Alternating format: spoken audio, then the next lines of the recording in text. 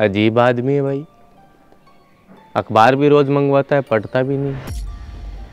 चलो पूछते हैं आज क्या दिक्कत है।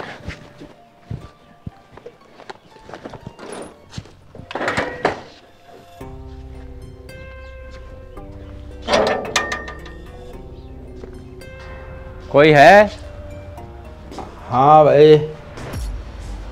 अरे कैसे आदमी हो सर आप? पैसे लगवाने का ज़्यादा शौक है क्या? जब अखबार लेते ही नहीं हो तो मंगवाते क्यों हो रोज?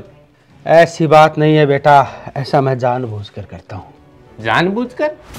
अरे अखबार बंद करने का इरादा है क्या? अरे बेटा अखबार बंद करने का इरादा नहीं है। मैं चाहता हूँ कि तू दरवाज़ा खटखटा के अखबार मेरे हाथ में दे के जाए रोज। अरे सर इसमें तो हम दोनों को असुविधा होगी। समय भी खराब होगा। मैं सुबह सुबह अखबार बांटता हूँ फिर दिहाड़ी पर जाता हूँ। ऐसा करूँगा तो कैसे चलेगा सर? हाँ बेटा इस काम में तुम्हारे प्रतिदिन पाँच मिनट खराब होंगे। सुबह थोड़ा जल्दी उठ के ये पाँच मिनट निकाल लेना यार। मैं तुम्हारे पाँच मिनट फ्री में नहीं लूँगा बेटे। इस पाँच मिनट का मैं तुम्हें पैसा दूँगा। क्योंकि मैं जानता हूँ बेटा फ्री में तो खुद की औलाद भी वक्त नहीं देती। तुम तो पराए हो। मैं तुम्हें महीने के तीन हज़ार रुपये दूँगा इस काम के। तीन हज़ार रुपये अरे सर आपका दिमाग सटक गया है। इतने पैसे तो अखबार के भी नहीं होते महीने के। आप किसी अच्छे डॉक्टर को दिखाओ, दवाई लो। नहीं बेटा, दिमाग खराब नहीं हुआ है। मेरे दो बेटे हैं, दोनों मुंबई में अपना अपना घर बनाकर बीवी बच्चों के साथ रहते हैं। ना तो वो मेरे को साथ रखते हैं, ना मेरे साथ रहना पसंद करते हैं। तीन साल पहले बीवी का देहांत हो गया। अब इस इतने बड़े घर में अकेला ही रहता हूँ। बेटा, कभी ऐसा दिन आए कि तू दरवाज़ा खटखटाए मैं कोई प्रतिक्रिया ही नहीं दूँ, दरवाज़ा नहीं खोलूँ? तू बेटा, तू पुलिस को फ़ोन कर देना। और इस पर्ची में मेरे दोनों बेटों के नंबर है।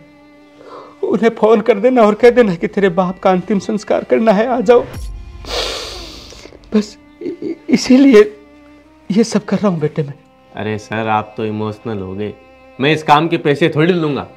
कल से मैं दस मिनट पहले आऊँगा और आपसे बात करूँगा, आपके हालचाल पूछूँगा, फिर जाऊँगा। पर एक दिमाग में सवाल घूम रहा है, सर। पूछो बेटा। और तो सब ठीक है सर। अभी आप ज़िंदा हो आपको ज़रूरत है फिर भी वो आपसे मिलने नहीं आ रहे हैं। अंतिम संस्कार पे आ जाएँगे इसकी क्या गारंटी है? हाँ बेटा गारंटी है। मेरे अंतिम संस्कार पर वो पक्के आएँगे दोनों बेटे आएँगे। लोग लाज के डर से नहीं आएँगे वो। लोग लाज का डर नहीं लगता। ये जो करोड़ों की संपत्ति है ना इसको बेच के बंटवारा करने के लिए आएँगे। तब अंतिम संस्कार करते हैं। नहीं कौन माँ बाप को पूछता है बेटे?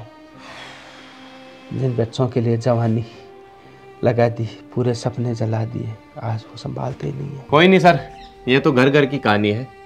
कल मिलते हैं दस मिनट पहले। अभी तो थोड़ा लेट हो रहा हूँ मैं। अपनों से तो पराये ही अच्छे होते।